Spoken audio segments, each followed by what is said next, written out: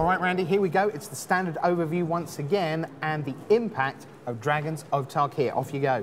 Yeah, this set is super deep, and the standard is wide open, so I actually put together fully a top 20 Dragons of Tarkir cards in standard, and I still feel like I left cards out.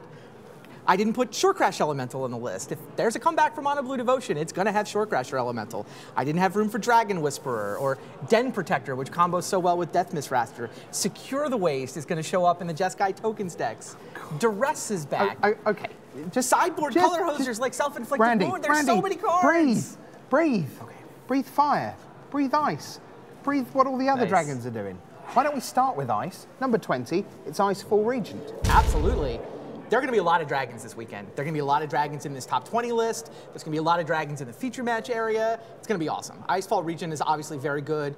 4-3 flying is nice. It's just 5 mana. It's a little bit cheaper than some of the other dragons. And yeah, just being able to lock down an opponent's creature and mess with their ability to get your dragon off the table is it's a powerful place to be in this format.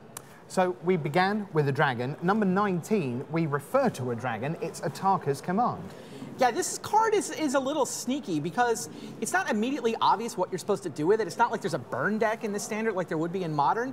But if you have the super aggressive mono red deck, the very low to the ground, some people will call it, you're going wide with a bunch of tokens, just the ability to give all your creatures plus one plus one is great. You hit super hard in those decks. And there, there are a lot of people out there that are just like, I just don't want to get paired against the Atarka's command deck. Just I got everything else under control, but the, just like the red weenies to go wide and command coming out from nowhere, it does a lot of damage. So we stay with the dragon theme, and we're just going straight to dragons. It is Dragon Lord Silumgar. Yeah, blue black control is definitely a thing. It got a couple of different tools from this set. Uh, Dragon Lord Silumgar is chief among them. It's not the kind of card you're going to play four of. It's not the kind of card you're going to build your whole deck around. But you know, being able to just steal their best thing. I mean, the dream is you steal their Planeswalker when you're about to ultimate it. But whatever, steal whatever it is. Just having a dragon that can do that, and it even combos nicely with with the other Silumgar as well. So that was mythic, Dragon Lord Silumgar. Generally, planeswalkers are pretty mythic beings. Let's see who's next. It's Sarkhan Unbroken. Yeah, I'll be honest. I don't know if there's actually a deck for Sarkhan. All right. I, I couldn't leave him out though. Like the card is so powerful. It's so flavorful. It's just a great card. It's got a ton of power. I mean, if somebody came up with a deck to really take advantage of all this power, you know, we, we may see them make a deep run in this tournament. So it's a card that I feel like it belonged in the top 20, even though I'm not quite sure exactly where the home is. Um, but just, it's a great card. And kind of fits the dragon thing too. I don't does he count as a dragon when we're counting up how many dragons we have? I think we could. I mean, he certainly turns up with one attached because a lot of the time that's what you're going to do. You're going to start Right. off at two with a 4-4 to protect you. So Exactly. Um, let's stay with Planeswalkers and let's go to another card that maybe you're going to say the same again. Does Narset Transcendent have a deck? Uh, more so than Sarkhan. Okay. It fits naturally into the some of the the blue black control deck can easily just become an Esper control deck. Mm-hmm. You know, you could be blue white control splashing black, but somewhere in that sort of Esper color set, whether you're blue white, blue white black, blue black, Narset's great in that deck. I mean, it starts with so much loyalty. The ability to draw extra cards is nice. You know, the ability to give your spells rebound is nice. It's it's a really powerful planeswalker in those control decks. I think that yeah, I think Narset's got a more obvious home than Sarkhan. Maybe not quite as much raw power, uh, but definitely a more obvious home. Uh, and will we see four of in the decks that run it? Do they want to just absolutely make her as quickly as they can? I don't think so. Okay. I think it's more of a two or three of, but we'll see. All right. Uh, so next up, let's go back to Dragonland. It is Dragon Lord Atarka. It's the big one at 8-8. Yeah, and in 15th place here, there's, there's starting to be a trend. We'll see how long it takes you to pick up on pick up on my trend here. Is But, it, is it dragons? well, yeah, there's that trend, absolutely. But Dragon Lord Atarka, Oh. you know, the biggest and baddest of all the dragons. You know, the, the red green deck is going to show up in a couple of different flavors. Mm-hmm. Red green is definitely going to be one of the big players this weekend. And I think sort of the bigger version, if you want your, you know, the coarser carry added version of the red green deck, can absolutely go all the way to, to Atarka at seven mana. Super powerful, just blow up everybody. 8 8 trample flying, kills people pretty fast. One of the beauties of the game is that if red green is not for you, well, there's another Dragon Lord coming right along behind it. For people like me, it's Dragon Lord Ojutai. Ojutai is great. I mean, it, it looks a little fragile at 5'4", but then you play it, and you realize, wait, it, it's not actually fragile. It's actually hex-proof, unless I actively choose that I'm willing to attack with it. And then if you do attack with it, you get awesome toys to play with. So this is just anything sort of blue-white control-ish wants Dragon Lord Ojutai. And I think it's actually one of the reasons that, you know, the control decks maybe are going to skew a little more white. Maybe maybe they stay blue-black, but between Narset and Ojutai, I feel like there's real big rewards for going into white now. Uh, next up, a very small card, Lightning Berserker. Yeah, I mentioned the Go Wide red deck. This is one of the new toys, and at 13th, it's it's got another red card that we've seen in this countdown so far. Lightning Berserker can come out. It's essentially, yeah, they called it Fireball with buyback. You dash this guy out, and if your opponent has a deck full of sorcery speed removal, they never get him, right? He dashes out, you tap all your mountains to just fire breathe, hit him for, you know, four, five, six, whatever, mm. and then he comes safely back into your hand where they can't get him with their wrath effects. It's it's a nice little role player, and just being able to play just a one as a one drop, just casting it sort of the normal way can also be powerful in those decks. So, hmm. not, maybe not the best red one drop in the set, but hmm. a good one. So, if Lightning Berserker is God's punishment for playing sorcery speed removal, how about playing some instant speed removal and you pay the ultimate price? Yeah, this is a reprint. So, I mean, maybe not the sexiest card in, in the file, but it's good. It is exactly what the black control-ish decks want. Bile Blight is so hard on your mana. Being able to go BB on turn two and then, you know, dissolve on turn three doesn't really work. But, you know, ultimate price into dissolve, much easier to pull off. This is just an excellent removal spell, giving you the ability to just trade for one for one with whatever, you know, most of the things your opponent is going to play, you can trade one for one with. Here comes number 11. It's Haven of the Spirit Dragon. Tell us about this. Well, first of all, I'm going to call this an honorary red card. Okay. Because mostly what it gets back is it gets back dragons, right? It gets back Thunderbreak Regent, it gets back Stormbreath Dragon. And it gives those decks, I mean, especially the red green, it's usually going to be in the red green dragon decks. It doesn't have to be, but it's both a color fixer and the thing is, it's card drawing. Like, you get to play with effectively a, a, a creature land or a land that turns into a spell, turns into whatever giant dragon you need back. Nobody else in the format gets to turn their extra lands into spells, into powerful threats, the way Haven of the Spirit Dragon does.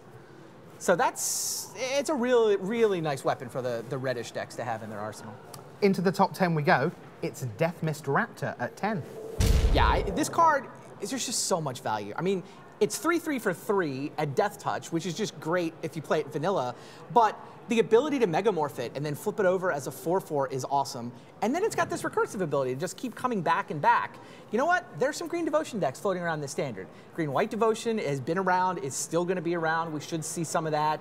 There's Den Protector in, this, in the set. There's a lot of ways to kind of get that card advantage engine rolling here. And it's not like you had to sacrifice anything to get it. You, you get a 3-3 Death Toucher for 3. The card's totally fine face up. Very good. Here's another reprint. Bit surprised to see this as high as it is. Why have you gone for Dragon Fodder here? Uh, it just fits into the Jeskai tokens deck so well. Like that deck has been playing Hordeling Outburst for forever. Right. There's so many threes. Being able to get your tokens started at two mana, it's a big deal. So it's good in the Jeskai tokens decks. It's also good in just the, the mono red aggro decks especially you know if you're going to in the Atarka's command variety in particular, that ability to just make multiple creatures on turn two. I mean, it's sort of two power, two toughness for two mana, which is a reasonable rate, especially in red. But then so many ways to take advantage of the fact that I have have that in multiple bodies instead of just the one body. Also, it's an odd number, so it's a red it's card. a red card, right? Okay, here's number eight. It's Surrak, the Hunt Caller. This guy hits so hard. 5-4 on turn 4, and usually going to come down with haste, effectively. Like, mm -hmm. you're mm-hmm. usually going to have 3 power amongst your other creatures, whether it's Elvish Mystics or, or whatever.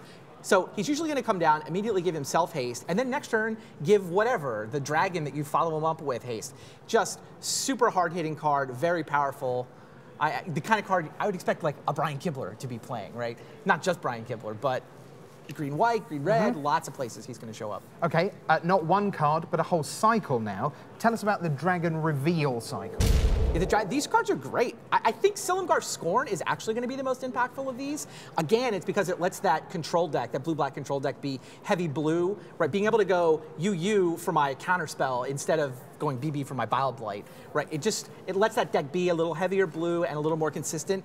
And it doesn't look like the most powerful, but that Force Spike ability, if it's turn two, it's plenty good enough. Turn three, turn four, when your opponent is curving out, you're going to be able to counter something with the Force Spike ability, even if you don't have the dragon.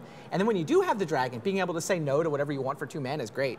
I mean, look, Draconic Roar is going to show up plenty as well, and you may even see some Foul-Tongue Invocation. Mm. Um, but I actually think it's Silumgar Scorn that's going to have the biggest impact there. Well, in that case, maybe we can anticipate seeing some blue cards. We are going to see blue cards and anticipate it's so good. It's just exactly what these cards want. It's yeah, it's me. It's me reminiscing about mono blue control cards, right? Yeah. It's not just a mono blue control deck. It also goes great in the Jeskai tokens deck. Sure. Like an instant that you know triggers your Jeskai ascendancy, finds you whatever it is that you want. I mean, it's going to show up in the control decks, but it's also going to show up in the Jeskai tokens decks, and it's going to be great in both of them.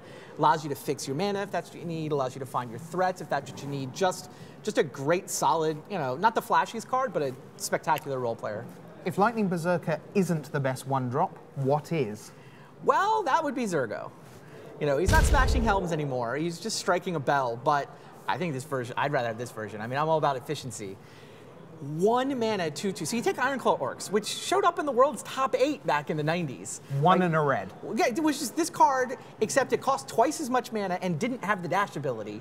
That card used to be good enough back in the mm -hmm. day. Mm-hmm. Creatures have gotten a little better yet. Zurgo Bellstriker, just one of the best one drops red has ever gotten its hands on. I mean, if it wasn't for the legend drawback, you know, quote unquote drawback, you can't really play four of them. Well, you can't play multiples at the same time. Maybe he's good enough that you play four anyway. Just a spectacular aggressive red creature. Going to show up in all of the, the, the aggro versions of the red list. All going to start with this guy. Let's go grindy. Sidisi Undead Vizier.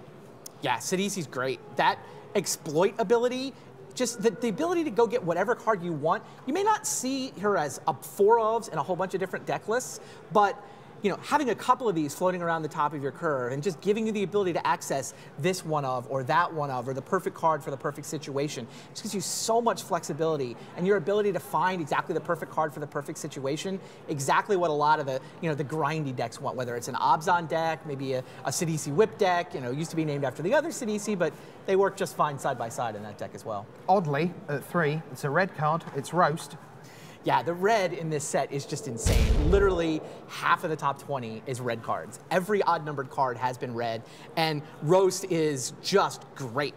Suddenly, red has the ability to get to get the, the rhino out of the way. Suddenly, red has the ability to get whatever it cares about out of the way, whether it's a dragon, you've even got the ability to roast your own hornet's nest.